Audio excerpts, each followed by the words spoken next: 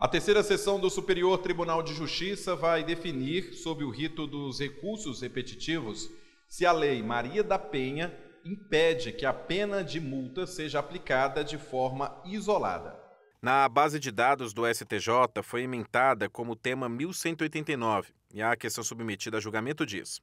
definir se a vedação constante do artigo 17 da Lei 11.340 de 2006, Lei Maria da Penha, obsta a imposição, nos casos de violência doméstica e familiar, contra a mulher de pena de multa isoladamente, ainda que prevista de forma autônoma no preceito secundário do tipo penal imputado. Para o Ministério Público, houve violação do artigo 17 da Lei 11.340 de 2006 pois a norma veda expressamente a possibilidade de aplicação de pena de prestação pecuniária, multa ou congênere no caso de violência doméstica e familiar contra a mulher.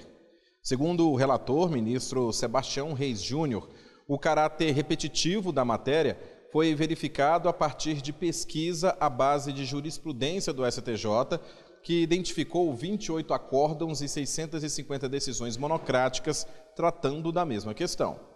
O colegiado decidiu não suspender a tramitação dos processos que discutem a mesma questão, pois, além de existir orientação jurisprudencial das turmas competentes da terceira sessão, eventual atraso no julgamento pode causar prejuízos aos jurisdicionados.